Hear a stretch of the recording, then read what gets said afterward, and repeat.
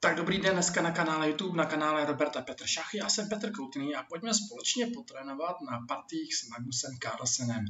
Rovné pozice, co v nich hledat, jak v nich vidět něco, na co má důvod tu partii dál hrát a snažit se o výhru. Jak je důležité vědět, co máme my a co nemá soupeř. Často to může být třeba jezdec na střelce, dvojice střelců proti jezdci a střelci, prostě lepší pěšci, horší pěšci, volný sloupec, prostě něco, co máme my a v co věříme, že nám dává výhodu a šanci hrát na výhru. Nejlepší na to jsou partie Magnuse Carlsena a já vás vítám v tomto videu. Magnus Carlsen takto vypadal, když vyhrál poprvé zápas o mistra světa, takto slavil, takovou měl radost a já věřím tomu, že i vás, na vás čeká velký šachový úspěch a nějak podobně budete slavit, možná ještě víc, když se vaše šachové sny splní a naplní a ta cesta možná začíná právě v tomto videu. Takže první partie je Lautier Carlsen. Lautier je bílý, má rok 2005. Malinko přeskáčeme teorii, která tady není důležitá a budeme se věnovat tomu, co je důležité, teda šachám. B6, věž D1. Eh, je důležité rozumět tomu, co hraje soupeř. Takže zeptám se vás, co hraje soupeř tahem věž D1? A ta odpověď je, že věžka patří na volný sloupec.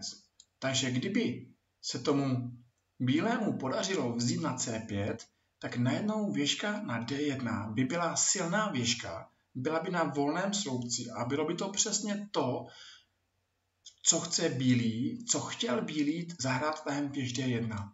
Když víme, co chce hrát soupeř, tak mu to nedovolíme. A přesně tak to hraje Magnus Carlsen. Prostě dobře, takže chceš mít volný sloupec, dávaj si věžku na volný sloupec, tak ten sloupec nebude volný a nebude otevřený. Takže Magnus vzal na D čtverce.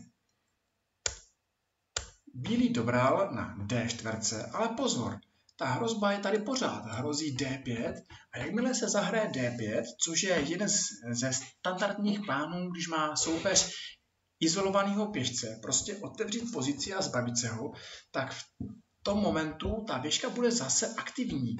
Nejlepší tah, jak tomu předejít, a možná si teďka potrénujete, když se vás zeptám, jak ten černý zabrání tahu D5. Když vezme na C3 protože ten kůň na C3 podporuje tah D5. Takže je důležité vědět, co chce dát soupeř a je důležité soupeři tu věžku na D1 nechat tam, kde je. Tohle to ještě není to hlavní, co nás čeká v této partii, ale na zařádí to stačí. Chci ukázat, že kdybyste zahráli střes na B7 a všimněte si, jak běžka stojí za pěšcem a když ten pěšec tam nezmizí, tak ta věžka bude stát pořád na polootevřeném a neotevřeném sloupci. Ale když tam ten pěšec zmizí, tak ta věžka bude enormně silná. Proto, kdybychom nevzali na C3 a zahráli střelec B7, tak se stane přesně to, co ten bílý chtěl. Teď si jenom všimejte, jak ta věžka se rozehraje tahem D5. Všechno se tam nějak vymění,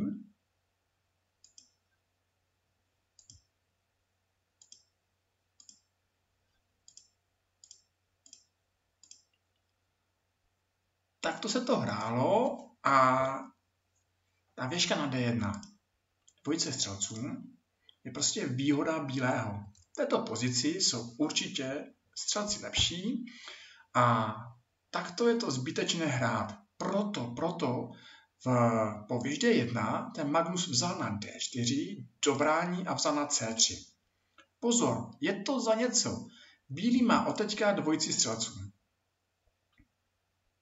A to je právě to, na co se teďka zaměříme, jak to hrát, když ten bílý bude mít na papíře prostě dvojici střelců, však to každý říká, že to je výhoda. Tak jo, dáma C7 a střelec B2. Střelec B7, střelec D3. Takže je tady taková rovná pozice a teďka bude důležité vědět, co s tím. Bílý má teda dvojici střelců, ale má vysící pěšce. na C3 a D4. Takže chce to hrát aktivně a chci si říkat, kde budou stát moje figurky. Nejdůležitější v takových pozicích je vymačkat ze svých figurek maximum. Samozřejmě tah, jako je běž D8 a běž C8, je tam asi správný. Ten tah přijde skoro po každé a je jednoduchý. Malinko Magnus tady Carlsen přemýšlel a říkal si, co mi hraje tento jezdec. Tento jezdec hraje dobře, má spoustu políček, ale co mě hraje tento jezdec? Tento jezdec z D7 může jenom na F6, ale na F6 už je jeden jezdec. Proto s tímto jezdcem vymyslí tento motiv. Hrozba je vzít tomu bílému dvojici střelců. Hrozba není špatná. Minimálně se dá říct, že jezdec s F6 bude stát líp na D5. Takže jezdec na D5, dáma E4, rozmamatu,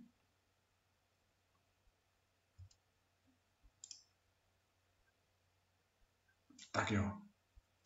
Tento jezdec se z radosti vylepší. Dáma E5. Říká se, že když máte dvojici střelců, bývá často dobré jít do koncovky. A zeptám se vás, co byste hráli jako černými v této pozici? A šachy jsou vesměs jednoduchá hra. Často se říká, že brát je špatně hrát.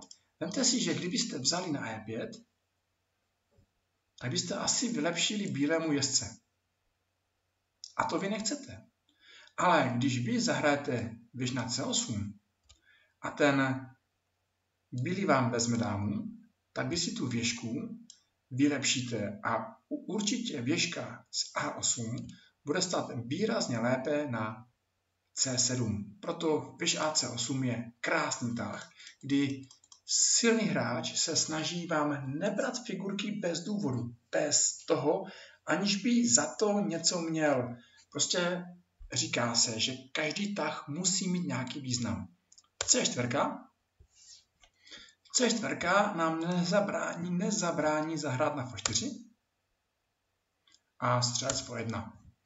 Tak jo, ta partie právě začíná být krásná a Magnus Carlsen prostě řekl, když chceš, tak já ti to na tom F3 vezmu. Stalo se. A kdo stojí líp? Stojí líp bílý, protože má dvojici střelců, nebo stojí líp černý, protože má lepší pěšce a nemá slabinky? Hmm, ty slabinky jsou teďka pro toho černýho docela daleko, protože je těžké nějak ty slabinky napadat. Říká se, že slabina je jenom tehdy, když toho soupeř dokáže využít. Neboli, když má váš soupeř slabinky, tak jsou to slabinky jenom tehdy, když je můžete napadat, když toho můžete využít. Zatím není úplně jasné, jak byste těch slabinek dokázali využít, zatímco bílý má dvojici střelců. A to je docela silný faktor. Magnus Carlsen se toho nebál a samozřejmě dal poslední nehrající figurku do hry. Dáma C7, běž C7 a A4. A4 je krásný tah a ten vám doporučím si zapamatovat. Když máte takového slabého pěšce na A2, je dobré se ho zbavit nějakou výměnou, třeba na A5, vyměníte jednoho pěšce a buď zůstane pěšec na B6 slabý a izolovaný a pak je to slabina, kterou ta věžka může napadat. Takže potom, potom A4, A5, eh, když ten bílý může napadat tu slabinu, tak ten pěšec na B6 může být slabý. Takže A4 je krásný tah, kdy se bílý zbaví slabinky a vytváří soupeři, teďka nám, slabinky. Tak jo, Jste na tahu, jste černými a teďka přichází snad nejdůležitější moment této partie. Co budete hrát? Je možná i důležité, jak budete přemýšlet. No a nějak přemýšlel Magnus. Co mě hraje tento jezdec? Tento jezdec je za polovinou soupeře a vytváří docela nepříjemné hrozby. Takže s tímto jezdcem můžu být spokojený. Co mě hraje ale jezdec na F6? Když se podíváte na toho jezdce, tak ten skoro nikam nemůže, protože na D5 nemůže, na E4 nemůže, na G4 nemůže, na H5 nechce, na D7 nechce. Takže jak byste vyřešili tuhletu pozici a tohle je důležité v těchto pozicích a v tomto je Magnus nejlepší. Najděte pro to jezdce z F6 lepší políčko. Nebo vás ten bílý zatlačí a umačká, jestli necháte jezdce hrát bez práce. A Magnus Carlsen si řekl, no, jestliže je tady slabinka, tak bylo by dobré, aby ten jezdec F6 tu slabinku napadal. Protože když ho bude napadat, tak je to slabinka.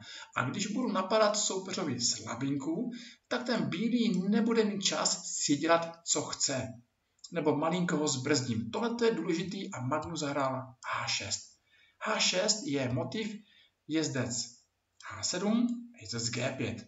Jezdec G5 může krásně napadat na F3 a jde vidět, že ten jezdec by stál o hodně líp na G5 než na F6. Proto H6.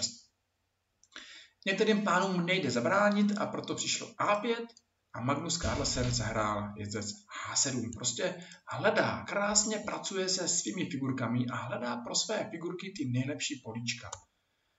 Vzetí, vzetí a věž A3. Věž A3 je krásný tah, protože ten bílý si předem se připravuje na tah jezdec G5. Prostě předem toho pěšce pochrání a ještě se snaží zdvojit na A sloupci. Dobře. Jste černí a co budete hrát? Stále hledáte pro toho jezdce nějaké zaměstnání, nějaký úkol, něco, proč má důvod si ho nechávat stále v této partii. Nezapomeňte, že ten bílý má dvojici střelců a právě tohoto je pozice na to, jak hrát proti dvojici střelců. Musíte dokázat, že ti vaši jezdci jsou silnější, nebezpečnější než soupeřoví dvojici střelců. Uh, Magnus si řekl, no dívej, nepůjdu na G5, protože už jsi to stejně pochránil, tak půjdu na F8. Z toho F8 můžu jít na G6. Toho G6 můžu jít na H4, z toho H4 můžu na F5 a pak tě tady vezmu na D4 pěšce. Protože ho budu napadat několikrát, že jo. Jo, tolikrát, kolikrát já napadnu, nepochráníš. Takže se teda pojďme podívat, jak přes ty šipky ten Magnus Carlsen šel hrát. Ale je to právě o tom, že přemýšlí, co tento jezdec bude hrát a kde bude stát nejlíp. A nejlíp bude stát na F 5. Krásná cesta jezdce z F6. Takže jezdec po 8, běž A1. Magnus si říká, že nechce, aby ten bílý vyměnil běžky a toto je krásná známka silného hráče, že nedovolí hrát soupeři, co chce a zahraje běžce 8. Běž B3. Bílý napadl pěšce jste na tahu a jste černým, co budete hrát? A Magnus si říká, že prostě nemá cenu takovýho pěšce bránit. Prostě když ho budu bránit, budu pasivní a šachy je aktivní hra. Proto Magnus jakoby si hrál svůj plán. A zahraje jezdec G6 a bílý vezme na B6. Takže jezdec G6, jezdec H4, a bílý se rozhodne bránit na H3, na, na F3 tahem věž A3. Asi lepší bylo král H1 a po vzetí na F3 věž D1 a G5. No, dejme tomu, ale vidíte, že ti jezdci začínají být nebezpečnější než ti bílýho střelci. A to jenom právě proto, že ten Magnus přemýšlel, co bude dělat s těmi jezdci. Právě od toho máte ten čas, abyste přemýšleli, co budete hrát. Takže po věže A3, přesně jak to ten Magnus myslel, zahrál na F5 a jde si vzít pěšce na D4, který se teda bude špatně chránit, možná už ani nejde chránit. C5, no jo, vy si toho pěšce můžete vzít, anebo můžete zahrát něco lepšího. Jste na tahu, jste černým a co budete hrát. A Magnus dobře vidí, že na téhle té řadě není žádný obránce a protože věžky patří na volný sloupec, tak zahraje E5. Je to E5 a je to krásný, že ten bílý v zahájení dal věžku na D1 a snažil se mít volný D sloupec a nepodařilo se mu to, zatímco Magnus Carlsen za nějakých 20 tahů si ten D sloupec otevře. Bílý zahrál střes A6 a je to prohrávající chyba, takže kdo chce, tak si započítá, proč je střes A6 špatný tah. A ten tah který byste měli vidět, je vzít na D4 jesem. Kdo chce, tak ať si to dopočítá, ale podívejte se, že tento král je docela v matu, takže jakmile se dostane věžka na první řadu, je to s matem. Takže jezdec D4 je vyhrávající tah, protože střez na C8 nejde vzít pro šach a mat. D1. Takže když D6 bylo asi nejlepší, ale to už stojí nějaký materiál. CD6 věž D8 je to dva pěšce méně a Magnus Carlsen tohleto bezpečně vyhraje. Můžeme si tu partii přeťukat, ale tohleto už není ani tak zajímavý. Samozřejmě nejtěžší je vyhrát vyhranou hru, ale pro Magnuse Carlsena který si krásně bude vylepšovat krále, věžky a bude soupeře tahat a tahat, až ho utahá. Takže dojedeme do konce. V těchto pozicích je důležité nikam nespěchat, opravdu dávat si pozor na to, co hraje soupeř a hlavně vyhrát, když už jsme vyhraní. Tak jo. To byla první partie, která byla krásná v tom, že ten bílý měl dvojici střelců a to nejzajímavější v této partii bylo po tahu H6. Ještě se jednou podívám na ten tah H6, protože ten tah je docela krásný na zapamatování H6. Prostě co budete dělat s tímto jezdcem? A když s ním nic dělat nebudete, tak vás soupeř přehraje. A tak to přemýšlel Magnus a zahrál krásnou partii. Pojďme se podívat na další partii. Věřím tomu, že se mi podaří zapnout, takže vypadá to, že se mi nepodaří zapnout takto, tak se mi podaří zapnout takto. A jsme tam. Černý je Magnus Carlsen, bílý má je Jakovenko. Takže pojďme se podívat opět, co nás čeká. Eh, prostě dáme si nějaké šachy, nějaké zahájení. Dám A5. Tady je zajímavý, když se zeptáte, jestli tento píšet na C6 není slabý. No, je slabší. Na druhou stranu je tady volný B sloupec, je tady volný D sloupec, je tady hnedka zadarmo možnost rozehrát střelce na A6, teda dá se říct, že za jednu slabinku, které bychom se asi všichni báli, je tam docela hodně hry tomu černému. Věřme síle našich figurek když naše figurky mají vzduch a dýchají, tak jsou silné. Takže rošáda, Magnus vyřeší na C3, přes A6, dáma C5, E4, je střela C4, tak. Takže jsme opět v zajímavé pozici a kdo stojí lépe? Když se podíváte, bílý má dvojici střelců, má věžku na volném slouci a černý má slabinku na C6. No, asi by mohl stát trošku bílý líp, ale ten černý má taky na co hrát. Černý má určitě pole D3, C4, takže může hrát přes bílé pole a může se snažit hrát na slavinku na C3. Přesně takto přemýšlí Magnus Carlsen. Nejdůležitější je teďka se rozhodnout, jestli je pro vás dobré vyměnit dámy anebo ne. Eh, když má soupeř dvojici střelců, není dobré spěchat do koncovky a proto je důležité nebo dobré nějak si tu dámu nechat ještě ve hře. Výměna dám je jedna z nejtěžších výměn, protože po výměně dám už jdete do koncovky a vy si musíte být stoprocentně jistí, jestli ta koncovka je pro vás dobrá. Varování pro vás může být to, že soupeř má dvojici střelců, proto to výměnou dám nemusíte spěchat. Dám H5 a střelec čtverka přišla. Tak jo, je tady spoustu možností, může se hrát E5, C5, Magnus zahrál C5 a Černý zahrál dáma B2.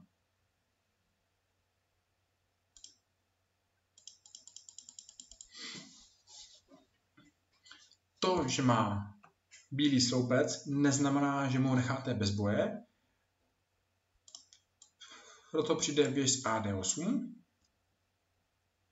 A teďka asi přichází tah, kde ten bílý udělá špatný tah. Docela nepochopitelně, jako venko, zahraje běž E1. Prostě chce si nechat běžky ve hře a nechce prohrát boj o volný sloupec. Nejlepší tah bylo F3.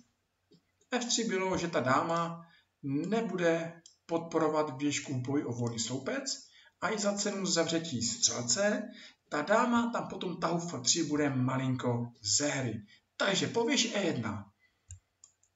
Volný sloupec je jeden z nejdůležitějších faktorů šachové hry, proto zdvojit. H3 a černý zahraje H6. Připravuje si nějaký prostor pro případné G4. Ale to není ještě takový zásadní. H6, A4, tak jo, jste na tahu, jste černými a co budete hrát, když vám řeknu, že ten černý chce zahrát A5.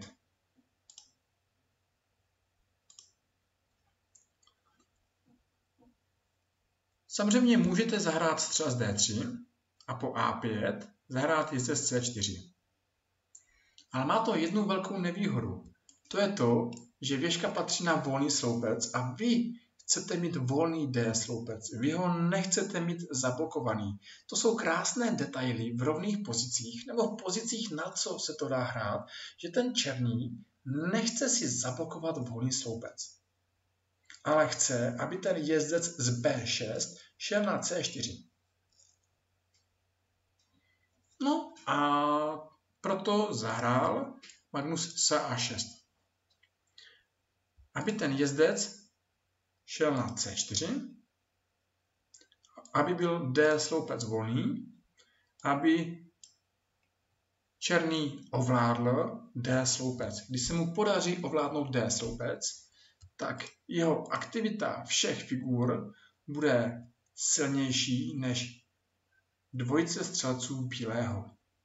Takže střelec A6, dáma A2 je trošku slabší, běž D8, A5, sem a střelec po 1. Tak jo, teďka jakoby tam vysel střelec na A6. Když ten jezdec někam odskočí, tak tam vysí střelec.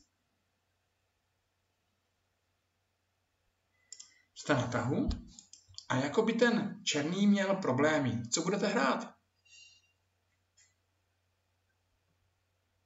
Tak, Magnus to všechno viděl a zahrál E5. Nejhorší tah, co by mohlo zahrát ten bílý je střes E3. Dokonce v této pozici ten bílý už má jenom jeden jediný tah a na ten se podíváme, ale podíváme se, co by se stalo po střelec E3. Střelec E3. Tak, když musím vzít, tak vezmu. A taková krásná varianta. Jezdec E3. Třeba střelec A6 je věž D2 a třeba dáma B3 je dáma F3. Matu se špatně brání.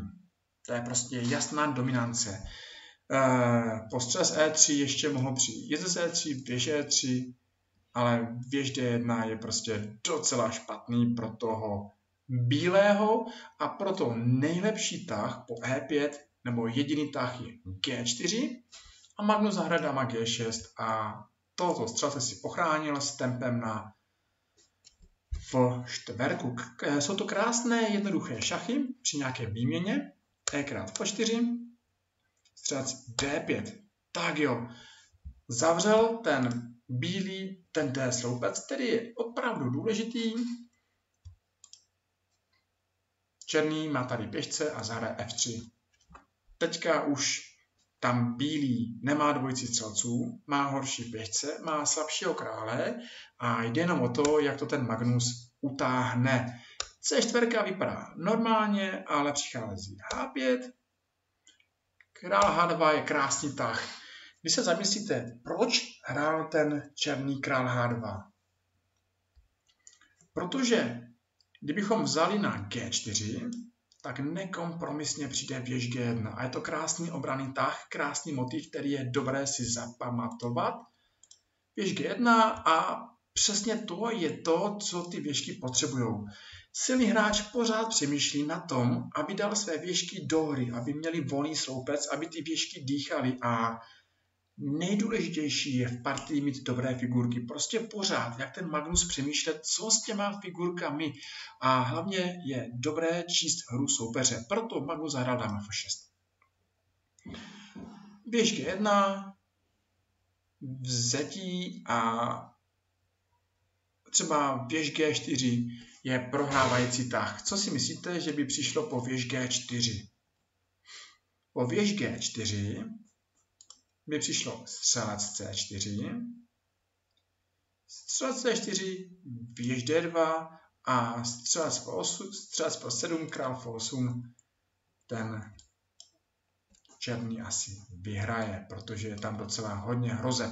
Takže BBB přišlo ale věž AB1 a je to prohrávající tah. Kdo chce, tak si teďka započítá variantu, střelec bere C4 vychází nebo nevychází tah střelec bere C4. Střelec C4. Máte možnost jít dámou nebo střelcem. Když to nevezmete, máte možná o dva pěšce méně. A kdybyste to vzali střelcem, tak samozřejmě rozhoduje volný D sloupec a to je to, co stojí i za to, aby za to umřel střelec Zetina F7 vůbec nic není. Šach a věž 2 je mat na H2. Takže střelec C4 nejde. Proto přišlo dáma C4, ale je tady šach a vzetí na D5, kdy nejde vzít na D5, protože vysí dáma na C4. Věž D5, no teda stalo se, a tuhle tu pozici Magnus vyhrál. Eh, podíváme se v rychlosti, jak Magnus vyhrál dama F2 a C1 je výhra. Tak jo, pojďme se podívat na další partii, jestli nám tam naskočím. Eh, tuhle tu jsem tam nechtěl a Magnus Carlsen Haruana Magnus Carlsen je bílý a pojďme se ještě trošičku podívat na krásné šachy. Střelec D3, dáma H4, dejme tomu, že se to dá hrát. Jezdec E7. Jezdec E7 je tady možná lepší tah než jezdec na F6, protože je tady k možnosti jak D5, tak F5. Prostě ti lepší hráči Magnus Carlsen bílý má v roce 2011, Fabio Caruana černý se zkouší, kdo těm pozicím rozumí víc a proto hrajou je zde E7. Normálně vývin, rošáda D5. D5. Um, jako by hrozilo D4. Jste na tahu a jste bílýma a co budete hrát? Tak to vezmete na D5 a černý to nevzal pěšcem. Myslím si, že po vzetí pěšcem může být třeba zajímavý tah možná vyš E1, možná i vzetí, protože tady může být někdy ten jezdec trošku problémový. Co tady důležitý, je určitě tento sloupec. Takže pojďme se podívat. Jezdec dvojce střelců je vzácná, proto nějaký ústup. Střelec D2, střelec D4, běž E1, jezdec B4. Jako by ten lov na ty střelce byl pro toho černýho úspěšným, ale přijde dáma E4, výměna, výměna, střes A6. Tak jo. Co to bude za pozici, když ten bílý přijde o věžku na F1? Ten bílý vůbec nemusí přijít o věžku na F1, protože, protože zahraje jezdec E2. Ta pozice je taková zvláštní, protože i tady se dá říct, na co se to bude hrát. Tady jsou velké slabinky a co ten bílý potřebuje? Bílý potřebuje dát dohody své figurky, vylepšit je a napadat slabinky. Všechno nemusí být hned, takže pojďme pomaličku. První krok je spasivnit soupeřové figurky. Nejlepší figurka je na B4 a trojkou ju donutíme se malinko spasivnit a B4 donutíme spasivnit střelce. Teďka bílý zahraje jezdec D4. Normálně si nechá vzít pěšku a vyhodnotí to postavení jako lepší pro bílého. Proč? Tak, je tady dvojice střelců. Když zemře a určitě zemře na C6 pěšec, tak ten černý bude mít dva pěšce na dámském křídle a ten bílý bude mít tři pěšce na dámském křídle. Takže převaha pěšců 3 na 2 znamená už od dob Nimcoviče, že se vytvoří volný pěšec. Budou tady dvojice střelců a je těžko vidět, kde by ten černý ty své figurky rozehrál. Je tam jeden volný sloupec. Na tom sloupci, když má ten bílý dvojicí střelců, tak vykryje všechny políčka a černý bude mít docela problém ty své figurky rozehrávat, takže tady je docela dobrá kompenzace za, za kvalitu a za pěšce. Takže vzetí na C6, vys FE8 a bílý zahraje krásný tah A4. Zeptám se, je možné nebo není možné vzít na A4?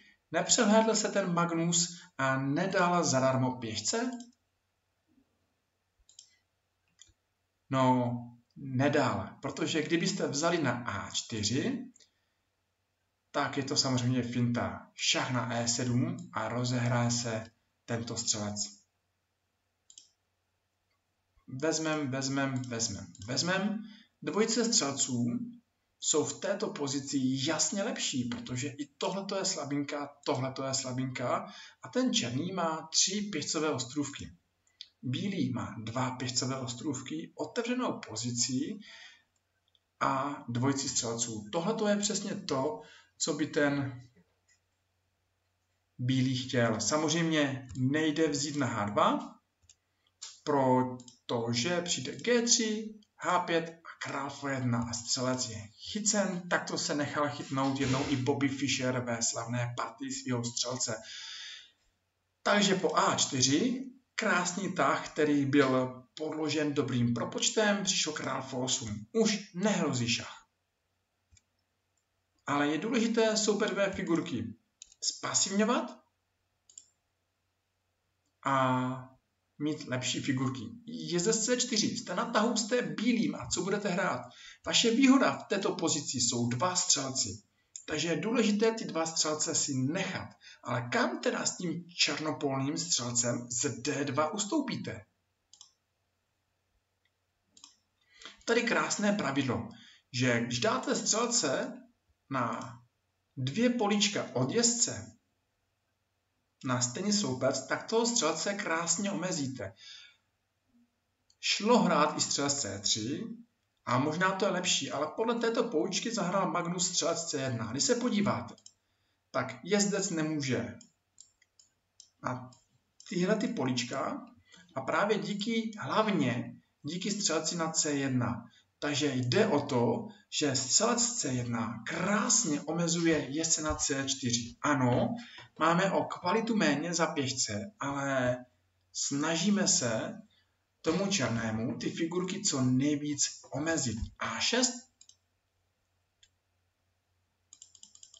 asi nejlepší byl tah C3. C3 prostě hrajou se dál šachy, partie může být krásná a ještě nejasná. Uh, po Magnus zahrál F4 a černý zahrál běž E6, což je prohrávající tah. Takže kdo chce, tak ať si započítá, proč je tah běž E6 špatný tah. Samozřejmě střela z D5. Střela z D5 je docela zabiják, protože ten jezdec v té partii už si nezahraje. Běž E1 by přišlo věž E1, krále E1, střelec B4, prostě nějakou figurku musíte dát. Něco z B4. Ale je, tohle to je prostě za Magnuse jasně lepší a dvojce střelců. Ještě si všimněte, že opět ti střelci krásně tohoto jezdce omezují a tento jezdec nemá žádné políčko. Nej, nejdůležitější je na tom D5, protože ten bere úplně všechno a všude, kam se ten jezdec podívá, tak tam umře. Tady by ti dvojice střelců byla výrazně, ale výrazně lepší. No nic, po střelec D5 přišlo věž po 6, věž E4, Magnus si krásně pokryl tohoto pěšce, získá zpátky figuru a po, tahleté, po tomhletom tahu ten Fabio Caruana už dál nepokračoval. Krásná partie na to, že i kvalita stojí za to, když máte dvojici střelců, soupeř má slabiny a převaha pěšců. Nejdůležitější ale je tam dávat si pozor a omezovat soupeřové figurky, protože Silné figurky nám vyhrajou partii, dobré figurky nám vyhrajou partii a špatné figurky tu partii soupeří prohrají. A tohle je určitě krásná myšlenka z této partie. Podíváme se na další partii a je to Carlsen Sokolov Viganzi 2013 Magnus je bílýma. Hmm. Nějaká španělská, dejme tomu, a tady bude pěkné vidět, že Magnusovi se to zahání nepovede. Jezdec A3 je tady asi nepřesnost pro jezdec A5, střelec C2 a B4. No a Magnus nemá nic na výběr, než se vrátit na B1. Stane se to i mistru světa, anebo možná budoucímu mistru světa. Najednou má ten bílý problémy, po G5 střelec G3, jezdec H5.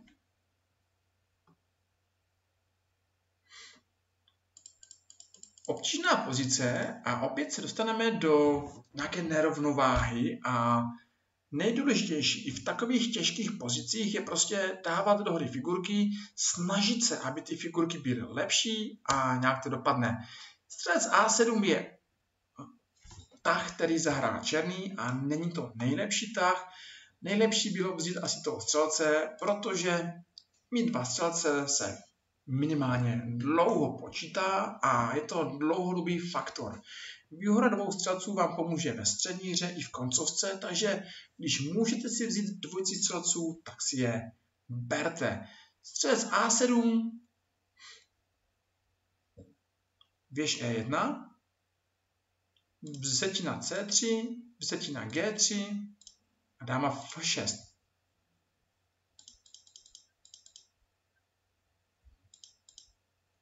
Takže opět, černý má dvojici střelců a bílý chce tu partii vyhrát. Na co to ten bílý může hrát? Bílý může hrát na pole F5. Tento jezdec někdy, ne, neříkám hned, ale někdy může doufat, že vyskočí na E3 a vyskočí na dvě krásné polička. F5 nebo D5. Tento jezdec na F3 může doufat, že třeba vyskočí na G4 a taky může na E3 a opět na ty dvě políčka. Takže nejdůležitější v této partii je, že ten černý má trošku slabé bílé políčka a to má díky tomu, že na B7 je střelec, ale ten střelec je takový nehrající, takže ten černý by se měl snažit toho střelce rozehrát, zatímco ten bílý by se měl snažit to hrát nějak přes bílé políčka. Dáma E2. No a černý se rozhodl, že to bude hrát přes B sloupec. Malinko si říká o problémy, protože tohoto střelce nehraje. Nejlepší tah byl, a já se ptám, jaký byl nejlepší tah než tah běž B8? Když máte špatnou figurku nebo nehrající figurku, víte, že máte tady nějaké dvě slabiny, tak je důležité dát toho střelce někam, aby ty slabiny pokrýval. Takže nejlepší tah je střelec C8 a tím střelcem třeba zahrát střelec E6 nebo střelec G4, hlavně mít pod kontrolou F5 a D5. Nestačí, že máme dva střelce. O hodně důležitější je vědět, kde máme špatné figurky a ty vylepšovat. Dobrý hráč má dobré figurky a střelec na B7 je očividně nejhorší figurka toho černého. Tak to přesně přemýšlí silný hráč. Tady Sokolov zahrál běž B8. Dobře, je samozřejmě důležité, jestliže tady je B sloupec, volný jediný sloupec, tak o ten sloupec nemůžeme přijít bez boje. Prostě volné sloupce jsou opravdu důležité a už jsme to dneska viděli v několika partích, že je o hodně lepší ten D sloupec, volný sloupec ovládat, než aby ho ovládal soupeř. Takže běž A B1, střelec C8, nejhorší figurka bílého jezdec, kam ten jezdec půjde, určitě na F1, cíl a kam chce jít, víme. Takže pojďme si pozici vylepšit. Běž B1 není moc dobrý, protože, protože věžka na E1 se dostane zadarmo na volný sloupec. Je možné, že se tam dlouho neohřeje, na druhé straně je tam běž B8, neuhneme, vezmeme a jezdec E3. Jezdec stál na D2, stojí na E3 a najednou bojuje o všechny slabé políčka toho černého. Střes A7. No, jaká je nejhorší figurka bílého? Samozřejmě střelec na C2. Je potřeba ne říkat si, mám špatnou figurku, ach jo. Je důležité přemýšlet a dělat z té figurky tu vaši nejlepší figurku. A ten bílý zahrál D4.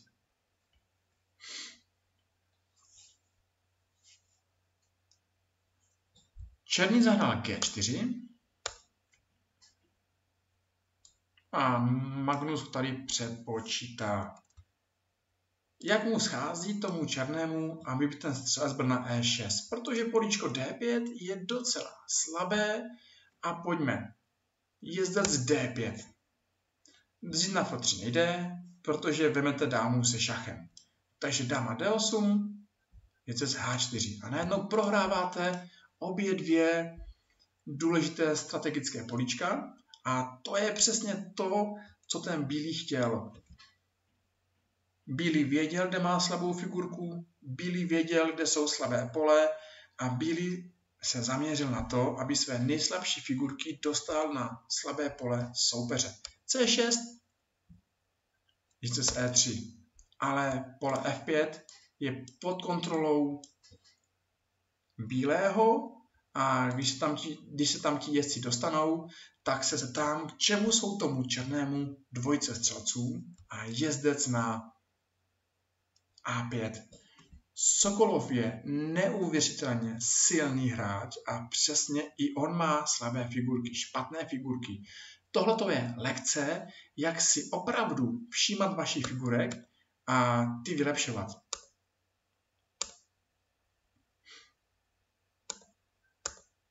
Tak jo. Jste na tahu, jste bílými a co budete hrát? Jaká je vaše nejhorší figurka? Střelec. Co ten střelec hraje na C2? Kde by ten střelec chtěl stát? Dejte střelec na takovou diagonálu a z nejhorší figurky máte nejlepší figurku a partii za chvilinku vyhrajete. To jsou rozdíly, které dělají lepší a lepší hráče. To jsou tahy, které vás jednou donesou ke splnění vašich snů a možná vás donutí běhnout do bazénu stejně jak běhl Magnus Carlsen. Střelec B1. Překrásný tah, kdy prostě dáváte střelce tam, kde bude opravdu hrát. Tak to přemýšlí Magnus. Říká si, které figurky mi hrajou, ty nechám hrát a které mi nehrajou, buď vyměním, anebo vylepším. Střelec A2 je opravdu zabiják a tohle jsou tahy, kde toho soupeře přehráváte. Černý má dvojici střelců, ale bílý hraje těma figurkama lépe. Dobře, jste bílým a jaká figurka vám asi nehraje? Dáma. A kde by ta dáma mohla stát líp? Na B1 tam nebude stát dlouho, ale na B4. Na B4 bude dáma docela agresivní. A opět stejný motiv přemýšlení i v rovných pozicích, i v pozicích, kde není úplně jasné, co budeme hrát, je nejdůležitější přemýšlet nad svými figurkami. Když se podíváte, jezdec na F5 stojí famózně, jezdec na E3 stojí výborně, střelec na A2 stojí fantasticky, král na G1 ještě je brzo, aby někam šel, tak to musí být dáma, která musí hrát. A přesně tohle to je cesta, jak hrát dobré šachy. Dáma B4. A samozřejmě tlak je na políčko A5 a D6. No a pod tlakem se dělají chyby. D5. Hrozí vzít na E4 a zavřel nám střelce na A2. Po D5 ten střelec tam vůbec nic nehraje. Jste na tahu, jste bílými a co budete hrát? Když máte nehrající figurku, tak ju prostě uděláte opět hrající a jestli, jestliže si tento střelec sedne na políčko E4, tak partie už skoro nepokračuje. A tak to přesně bych chtěl, aby jsme všichni hráli šachy. Takže střelec do hry, výměna, výměna, vzetí a fantastický střelec na E4. Každá figurka toho bílého je jasně lepší. Nutný tah bylo střelec D7, přišlo ale střelec E6. Jaká figurka toho bílého je nejslabší z těch nejlepších? Dáma. A kde by stála nejlíp dáma? Na C5, protože hrozí dáma A7 a to už je vražda a hrozí napadat na C6. Samozřejmě jezdec na A5, to je teda herec. Takže nejslabší figurka dáma. Kamu dáme? Na lepší políčko. A raz, dva, tři, stojíme výborně a hrajeme jako Magnus Carlsen. Král D7, D5, Dveře se otevírají, okna se otevírají a černý se za chvilinku krát D5 a jedeme ho zmatit.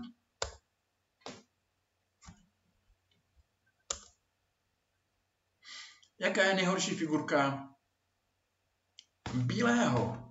No jezdec. A kdyby ten jezdec chtěl stát? No kdyby ten jezdec stál na D5, tak by stál určitě lépe než na F5. Tak pojďme toho jezdce dát trošku více do hry. Šach, dáma A4, ale tady se vůbec nehraje o pěšce, takže jednou šach a jezdec D5. Samozřejmě nejde vzít, protože dostanete na F6 šach. A ten král je tak slabý, že A4 pěšec neměl žádnou cenu a po střelec D, střelec D8, dáma C8. A myslím si, že už ta partie nepokračovala. Ten černý se vzdal. Na této partii bylo překrásné ty okamžiky, kdy ten, kdy ten bílý v takových podobných rovných pozicích si řekne, dobře, černý má dvojicí střelců, ale já můžu dát na pole F5, D5, vylepším si jezdce. Další krásný okamžik, byl, byl, byl, vylepšení bělopolního střelce. V této pozici máte střelce na C2, který vůbec nic nehraje. Dejte ho na A2 a z, ne, a z nehrající figurky bude nejlepší a nejkrásnější vaše figurka. To jsou šachy, které se musí strašně líbit. No a tady nehrající figurka dáma D3. Dejte mu na B4 a vaše výhoda se jenom zvětší parádní partie a já myslím, že tohle to bylo opravdu, opravdu super. V této pozici nahrající střelec na A2, tak ho jdeme na E4. Jak ten střelec se dostane na E4? V této pozici, tak vidíte, že černého pozice se rozpadá, protože vy jste byli ten, kdo se staral o vaše figurky a kdo překrásně zahrál šachy. Další partie, teda jestli vás to ještě baví, tak se pojďme podívat na další partii. Carlsen Van Valley 2013 Big and Z. Magnus Carlsen je bílýma a krásný, že Magnus hraje všecko. C4, D4, E4, kuň 3 prostě má šachy rád. Dáme si nějakou, nějaké postavení, bude to podobné Benonimu, potahu C5, ale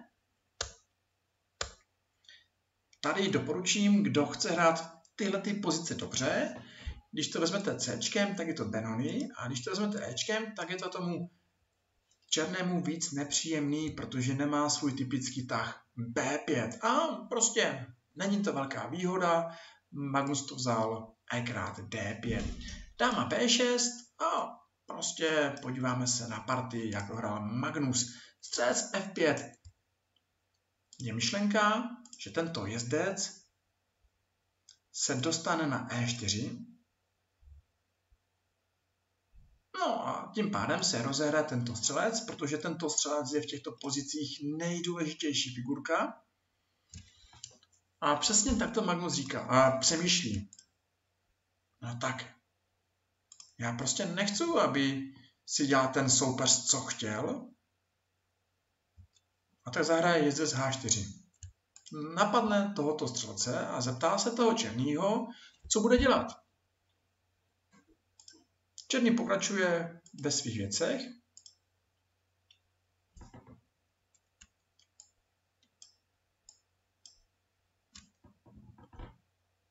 Jste na tahu, jste bílým a co budete hrát? No a Magnus řekl, hele, zahrou F3 ta myšlenka toho tahu F3, že asi ten bílý přijde do pěšce. Nebo o něho přijde. Ale za cenu, že tento střelec musí ustoupit na F5, tam bude sežrán a tento pěšec z G6 bude na F5. Takže i za cenu pěšce tam budou docela slabinky a uvidíme, jak to bude dál. Bude tam hra a budou tam silné figurky. Je tam důležité, že věříte, že v této pozici dokážete postavit lépe figurky. Dáma B2 určitě nevezmete dáma na B2, protože, protože byste dostali střel z B2 a vy nemáte vy nemáte vyš B1, abyste dobrali zpátky pěšce. Proto po dáma B2 eh, F5 takto. A takto. Takže po F3, tak jo. Dáma B2 zahrál a pokryl největší hrozbu ten bílý střelec C3. Zahrál teda běžce 1,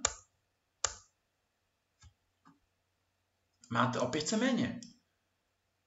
Ale černý musí vyřešit svoji figurku, tak zahraje na F5, tam ten bílý nečeká a vezme ho, je dobré a na to jsem udělal možná dobré video, jak hrát v časových tísních. Prostě, když máte jasný tah, jako v této pozici, tak ho prostě zahrajete hned. Když tam čekáte na to, že ho vezmete na tom, na tom F5 toho střelce, tak ho vezmete a ten tah zahrajete docela hned. Dáma B2, když B1, šach, tak jo, jak to stojí? Máte o pěšce méně. Máte dvojici střelců.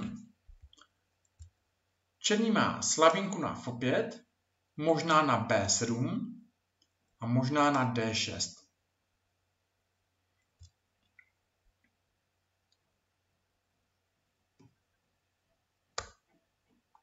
Kdyby ten černý zahrál B6, tak když víte, kde je slabinka, jak je dobré vždycky napadat slabinky, napadnete, vzít nejde, protože vám hrozí věž E5 a obě dvě figurky by byly ve vazbě. Tak, věž střes D4, střes F5. po věž E5 je asi G4. Ta dvojice střelců je tady docela silná, takže po věž E8 přišlo běž B7. Zpátky pěšec, dvojice střelců, velká výhoda. V této pozici to ten bílý bude hrát na dvojici střelců, lepší pěšce a aktivní věžka na sedmé řadě.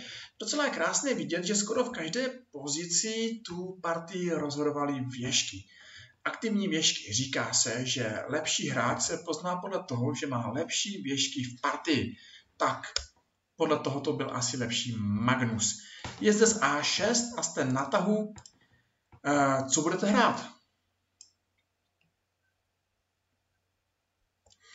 Je důležité si říkat, co chtěl hrát ten černý. Černý zahrál jezes A6 proto, aby šel jezes B4 tak samozřejmě dáte A3 a nedovolíte tomu černému, aby si vylepšil své figurky. Vy potřebujete, aby ten černý měl tu svoji figurku co nejdíl na kraji a tím pádem mu nehrála. Tohle to je jedno z nejdůležitějších věcí, které je dobré dělat ve vašich partích. Nedovolit vašemu soupeři, aby si dělal, co chtěl. Když B8 vezmem, vezmem, asi to bylo lepší vzít věžkou, ale opět, je tady volný sloupec, ale vy máte střelce a zabráníte tomu černému, aby využil ten sloupec. Samozřejmě běž B2, jde vzít na F5, jde na F4, střelec E5 je prý špatně, D6. A tady nějaký tah po 4 a podle nějakých ukázek by tady byl ten bílý lepší. No dejme tomu, že po věž B8 přišlo jezdec B8. Ten černý se rozhodl, že ten jezdec na A6 stojí špatně a ten kůň možná by stál líp na E5, nebo možná by stál líp na B6 s rozbou kůň A4. Přesně takto přemýšlí silný hráč. Kde mě budou stát dobře figurky? Střelec D3, jezec D7, král C2. No a běž B1. A je tady opět volný sloupec, který ovládl bílý uh, jezec B6, ale střelci jsou prostě silní a této pozici tu partii rozhodnou. Tohle to není rovná pozice. Tohle je pozice, kde ten Magnus má výhodu dvojici střelců. Je docela úsměvné, že předtím byly partie, kde soupeř měl výhodu dvojici střelců a Magnus soupeře přehrál, ale když má Magnus dvojici střelců, tak to zase Magnus dokáže využít. Takže střelec po 4 střelec E5, věž E1, král G7, střelec G3, hrozí F4. F4 nejenom, že hrozí, ale i přijde. A jak jsem říkal, nejjednodušší, jak hrát na výhodu dvojici střelců, je přijít do koncovky, protože tam se to opravdu vyplatí. Eh, na F5 nemusíte pospíchat brát a musíte se podívat, kde máte vaši nejhorší figurku. To, že máte výhodu dvojici střelců, to vám samo od sebe tu partii nevyhraje. Vyhraje vám to figurky a je potřeba přemýšlet, co s těma figurkama budete dělat. Takže ten střelec určitě patří tady, a nebo patří tady, protože tohle jsou diagonály, které vy potřebujete. Je důležité přesně takto přemýšlet u vaší partie a říkat si, kde mám svoji nejhorší figurku a kde má stát. Takže H5, Černý chce hrát G3. Já teda H4, proto zahrajeme G3, Sf6, král B3. Ten tak je důležitý proto, abychom tohoto pěšce pokryli a mohli v pohodě vzít tohoto pěšce. Kdybychom to udělali naopak, tak rozehrajeme soupeřového jezdce. Pokryl a přichází H3. No a věřte, nevěřte, prostě Van Veli si řekl, že už to dál hrát nebude, že prostě nechce se trápit a v této partii se vzdal. Varianta, která říká, proč se asi vzdál, by byla G4, vzetí, vzetí, král F6, střelec F5, král E7, G5, ale nehrající jezdec, dvojice střelců, pěšec navíc je asi nehratelné. Tak jo, podíváme se možná ještě na jednu partii a byl by to Carlsen Gata Kamský z roku 2013 St. Louis. Pojďme. Takže nějaké zahájení. Magnus Carlsen ani moc netoužil po svých po nějaké velké výhodě ze zahájení. Věřil tomu, že soupeře dokáže přehrát ve střední hře a v koncovce. A tady je krásná otázka. Střelec na C3, je to špatná figurka nebo dobrá figurka? A je takový vtip, který možná vás pobaví, který říkal, myslím, že Tál, že že je lepší špatný střelec než dobrý kůň. No, samozřejmě je to s nadsázkou, ale ten střelec na C3 ještě není špatný. Ten je v pěšcové struktuře, která se dá rozehrát, která se dá vylepšit a jednou může hrát. Takže nebojme se mít takového střelce. A čtverka. A pětka. A ta pozice bude určitě o tom, že ten Magnus bude ti dokázat, že ten střelec bude možná lepší než ten jezdec. Stále i takové pozice, které vypadají nudné, jdou na něco hrát. Píš AC1, H5. Když to ten černý chce hrát, ať to hraje. Jezdec E5, vzetí vzetím, ten tak H5. Většinou se říká, že se nemá hrát pěšcem od krále, protože když vám to nevinde, tak to může být taktická slabinka. Dáma E2. Bílý ví, že to pěšce nezíská, ale třeba zahraje F3. Takže je ze F6, nehrající figurka do hry, věž D1, dáma C7, hrozba může být někdy jezdec G4, proto předcházíme, věž D8, B3. Magnus nikam nespěchá a hraje své šachy. Dobře, nehrající figurka, no, věžky by mohly být spojené. Tak věž C2. A Magnus zahraje věž C1. Když nic, tak ten tah nic nepokazí. Až na to, že ten černý se může zbláznit a zahraje H4. Pozor, H4 už je docela riskantní, protože tento střelec, který se může vrátit, může krásně tohoto pěšce napadnout. Když tam ten jezdec nebude, tak bude i dáma G4 a nakonec ten pěšec na tom H4 může být slabinka. A proto jsem říkal, že i když ten střelec dlouho nehraje, vypadá špatně a nehrající, tak stále čeká na svoji příležitost. To jsou krásné pozice, kdy je dobré se neoslabovat pěšci a čekat na to, co udělá soupeř. Běž E1 a jakože se díváme na tohoto pěšce. Ten pěšec se pochrání asi nějakým odskokem jezdce, ale když ten jezdec odskočí, tak dáma přiskočí. Eh, jezdec odskočil, dáma přiskočila, G5 a to už je prostě taková zoufalost od krále a teďka půjde o to, aby to ten Magnus dobře otevřel. Takže vzetí na D5, F5, dáma F3 a jejda. Je tady opět volný sloupec a na volném sloupci, jak víme, je dobré zdvojit věžky. Takže se zdvojíme. Myš G7, věž C1, je ze 6 Nejhorší figurka toho bílého je určitě dáma, tak dáma nebude čekat na to, až dostane G4, ale odskočí hned. Dáma D1, G4 a Magnus zahraje nekompromisně. F3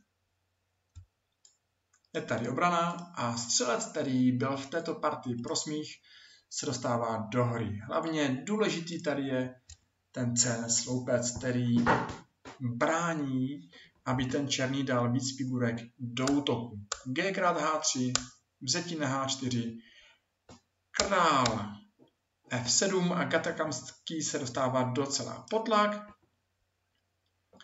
Dáma E1, vzetí na G2, a Magnus Carlsen nemusí dobírat, ale využije tohoto pěšce jako vlastního obránce, který brání krále, zatímco černýho krále nebrání nikdo. Takže šach, střelec P6, věž C8, dáma H4 a lov na krále. Pokračuje dáma H5, F4. Tady krásně vidět, jak ten pěšec na G2 krásně brání, čer, eh, krásně brání bílého krále, zatímco ten zatímco ten bílý si může dělat, co chce. Takže určitě si bude dělat, co chce a brzo partii vyhraje. Nikam se nespěchá, tečka král G2. Tak tohle to už je o propočtech. Na G8. A partie má poslední tři tahy. A ten černý se vzdal třeba pro variantu dáma B1. Třeba něco takového to. Tak jo, nebudu tohoto video dál protahovat, bylo to na téma, že je důležité vědět, že nám mají hrát figurky. Máme si figurky vylepšovat. Nemůžeme se bát toho, že má soupeř dvojicí střelců a my nemáme dvojicí střelců, anebo naopak. Musíme vědět, že i když máme dvojicí střelců, máme lepší pěšce, nemáme slabiny, tak stále musíme hrát opatrně, musíme se starat o své figurky a i v rovných pozicích je nejdůležitější mít lepší figurky, vědět, která je naše nejhorší figurka, vědět, kde jsou slabiny a vylepšovat si vlastní figurky. Tohle to je cesta, jak hrát dobré šachy. Když tomu přidáte ještě pochopení toho, co chce dát soupeř, tak já věřím tomu, že brzo se vám splní vaše šachové sny a brzo možná budete takto řádit, jak řádil Magnus Carlsen. Já bych vám přál, abyste hráli lepší šachy. Není to tak těžké. Prostě pravidlo číslo jedna, nejhorší figurka.